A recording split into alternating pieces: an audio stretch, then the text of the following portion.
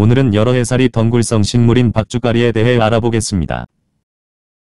박주가리는 들이나 산에 자생해 있고 열매 꼬투리 부분이 마치 바가지 모양을 닮았다 해서 어원이 생겼습니다. 다른 이명으로는 박조가리와 남아초 세박덩굴 등으로 불리며 익은 열매는 남아자로 부르기도 합니다. 특히 백수호하고 많이 비견되면서 정기를 보익한다 해서 정력을 대표하는 식물로 잘 알려져 있습니다. 이 두 식물의 구분 방법은 잎과 열매 뿌리를 보고 명확히 구분할 수가 있습니다.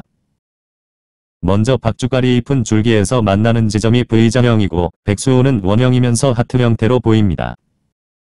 그리고 박주가리 열매는 오동통하면서 울룩불룩하고 백수호는 매끈하면서 가늘고 길쭉한 편입니다. 다음 박주가리 뿌리는 가늘면서 쭉 길게 이어져 있으며 백수호는 굵으면서 길게 이어져 있습니다. 박주가리 약용 부위는 줄기와 잎 씨앗 뿌리를 약용으로 사용할 수 있습니다. 맛은 쓰고 달면서 약간 매운맛도 좀 있으며 평한 편에 속합니다. 적용질환은 전립선과 방광염, 위궤양, 부종 신장염, 음이증, 관절염 등에 사용을 합니다. 양리학 실험에서 줄기의 희뉴에게는 동물의 심장을 마비시킬 정도의 독성작용이 보고가 되어 있습니다. 또한 희뉴액을 바로 먹게 되면 경련과 발작 증세가 따르게 되니 약재로 이용 시에 꼭 법제를 잘해서 사용해야 됩니다. 최근 정령 및 자양강장이란 말에 앞뒤 가리지 않고 먹었다가는 큰 낭패를 보는 사례가 종종 있었으니 주의를 요합니다. 특히 열매나 뿌리로 담금주를 만들어 과하게 복용하면 오히려 독이 될 수 있습니다. 그래서 과음하지 않고 적당하게 장복하는 게 매우 중요하고 심장질환이 있으신 분은 먹어서는 안 됩니다.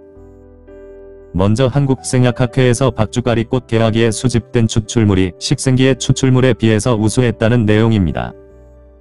이 중에서 헬리코박터 파이로리에 관한 소화성 궤양 질병과 위장장애, 장폐색 복통에 효과가 있었습니다.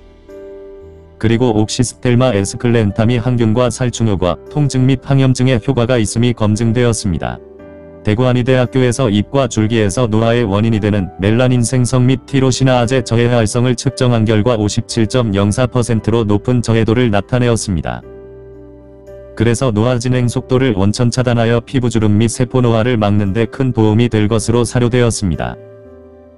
다음 인체 뼈 질환에는 퇴행성 관절염과 골관절염 자골신경통 요통 등이 있고 이는 골다공증의 원인이 되기도 합니다.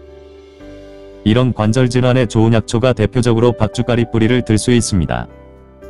관절 질환 80%는 50대 중년 이후부터 발생하기 때문에 미연의 예방 및 치료를 하는 게 좋습니다.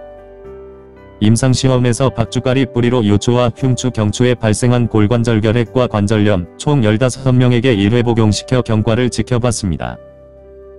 치료한 결과 3명을 제외한 12명에게서 누관이 유합되었고 현정한 효과는 1명이었으며 호전은 2명으로 나타났습니다.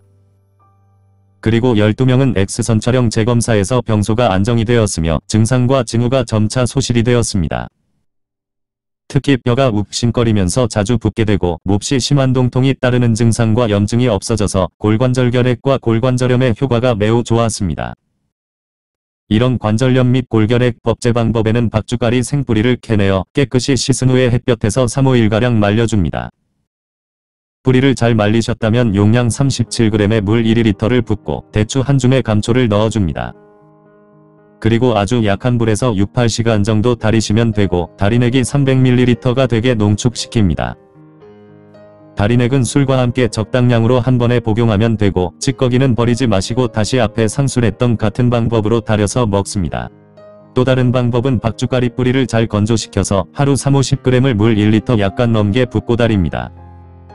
이때 물의 용량이 3분의 1가량이 줄도록 달이시면 되고 식후에 술과 함께 음용하면 빠르게 흡수가 됩니다. 남는 찌꺼기는 상처에 덮어 씌우면 타박상으로 인한 출혈 증상이 멈추게 됩니다. 때론 풍습성 및 퇴행성 관절염에는 창출과 홍화 방풍과 함께 배합했으면 더 좋다고 하였습니다.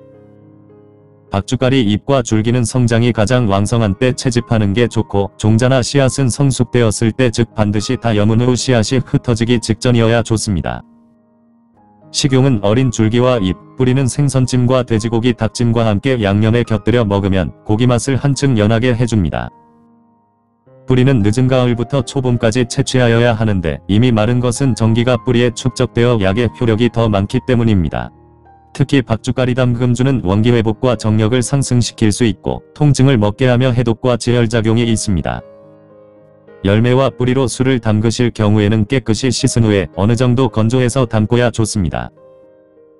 용량은 80에서 100g 정도가 적당하고 유리병에 넣어서 30도 이상 담금용 소주를 부어주면 됩니다.